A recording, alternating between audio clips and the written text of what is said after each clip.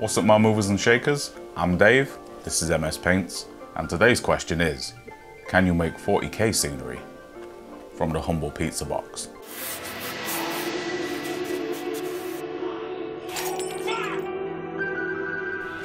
And yes, of course you can, but will it be any good? That's the actual real question. I know that I can cut this into some right angle corners and basically say that's a ruined building, but will it actually not look shit? Let's find out. So to follow along for today's Blue Peter, as you probably have gathered, all you're going to need is a stack of pizza boxes that you definitely have lying around your house at some point. However, one thing you may not have lying around is today's secret ingredient, and this is to make our concrete textures pop and bring the buildings to life. Okay, so while I'm doing a load of stuff that is visually self-explanatory, let me take a moment to talk about pizza boxes. When was the last time you sat back and had a real think about it? Pizza boxes are up there with soy sauce bottles and the Great Pyramids of Giza in their incredible engineering design. They got to be damage resistant, stackable, hold up to moisture, temperature insulated, and be able to regulate their own humidity. It's also a flawlessly large piece of print media that can hold advertisements or useful warnings like, I don't know, be careful now, contents might be hot. So like every 40k building ever, we're going to be doing the classic ruined right angle. These windows are guided by miniatures waist height and then measured from there using a sharp Poundland blade for the clean cuts. And yeah, if you're also about to complain about the sight of a greasy pizza box on your screen, then you have probably got too much time on your hands. Of course, you may have the gusto to put cardboard through your dishwasher, but I don't. And I certainly do not fancy explaining to the hard as nails middle aged Turkish man behind the counter at my local pizza shop why I'd like some brand new pizza boxes to make little buildings for my little toy soldiers out of. Again, that might be your speed, but I'm just going to stay on the bench for this one, alright? A little bit of trim here and there is going to help add some variety to our boxes. Window ledges, window frames, picture rails, skirting boards, all that kind of stuff. Whatever is going to add the most variety with the smallest amount of fuss. And I'm just making these with the offcuts from the main cardboard pieces we've used for the actual building structure. I'm going to add me a greasy second floor to the larger buildings because it's kind of just the done thing. I can't express how much of an ingrained design this is for tabletop gamers, we all know it. All buildings are corners and they all have blown out windows and the second floor is always intact for good vantage points.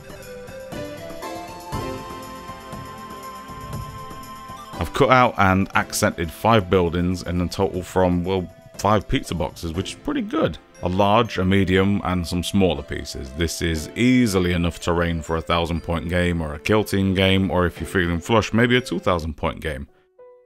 And with the quantity looking good to me, it's time to smooth things out a little bit. Yeah, real smooth. To hide those cardboard edges, I'm running over pretty much all the edges with some Poundland tile grout. For rebar, I usually use garden wire so I can pose it afterwards and bend it around, but for speed and simplicity's sake, I'm, I'm just using some cocktail sticks.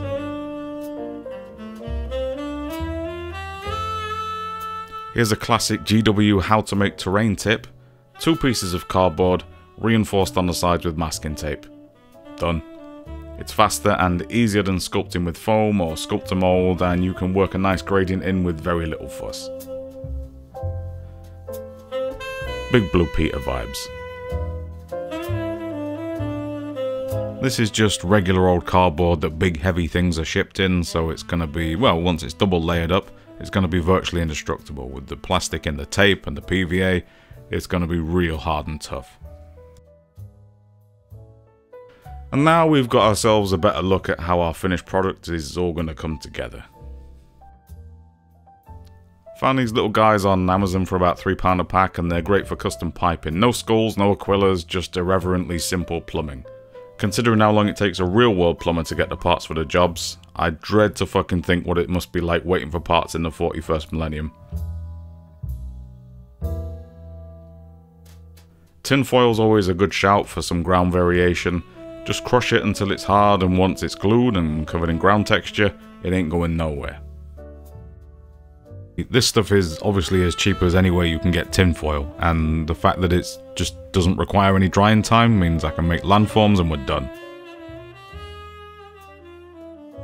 Most of my 40k terrain, space permitting, will feature these dragon's teeth or whatever they're called. They're just offcuts from a Forge World Titan, but they're basically the right shape out of the bag and add some nice character to a base.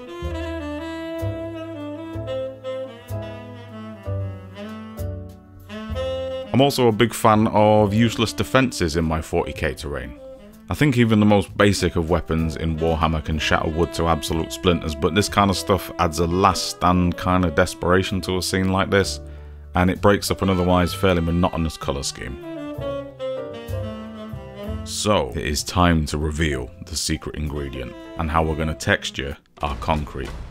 It's flour, but this isn't just any flour. This is £1.25 a bag independently sourced and made plain baking flour the highest quality you can get without dusting off your tuxedo and going into a Waitrose.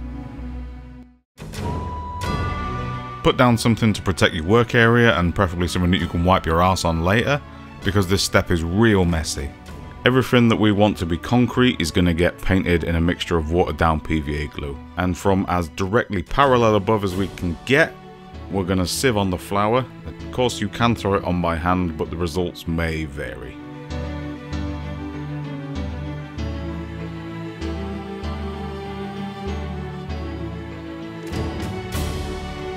Prior to priming, I've given each of the buildings a spray with a gloss varnish to help hold the flour in place. Flour obviously does absorb moisture because that's kind of its thing, so that process makes the texture turn rock hard. Going to spray everything black before misting from above with a lighter grey colour.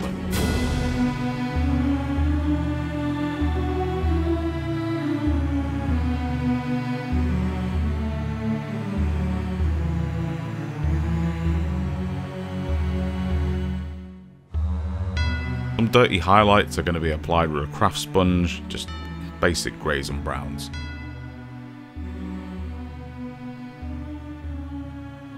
And then we throw on a basic black acrylic wash just to mute the highlights a smidge.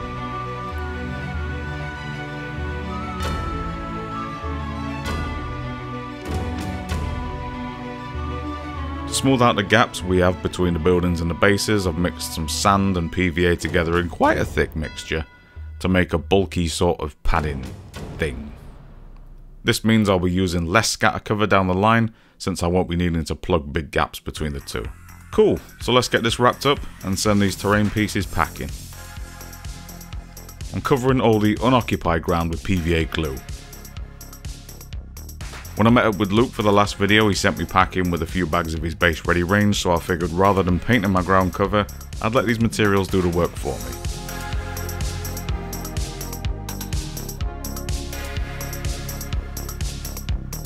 Like with any scatter of this type, once it's glued down, let it sit for an hour to get real tacky, and then wet it through with rubbing alcohol.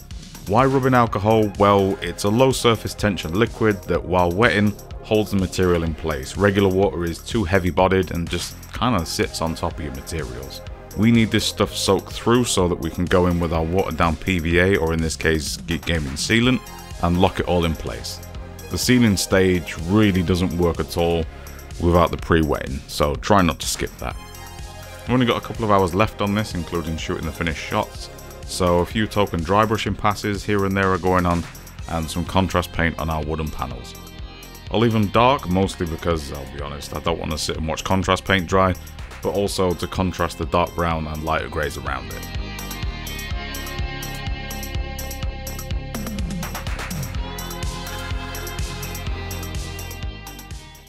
And there we go, they're not amazing, they're not great, but they are a table worth of terrain made from pizza boxes and some other household garbage. And of course secret ingredient flour. I've done similar stuff before but using tile grout instead of flour. Generally the grout I would say is better, but flour is a shitload safer if you haven't got the right PPE. Once they're dry to the core, because obviously this is cardboard don't forget, I'll be using them for many games to come. They cost next to nothing to make and a couple of days of time investment, and for that kind of low investment across the board, I don't think I could do much better. Thanks for watching, cheers, I'm out of here.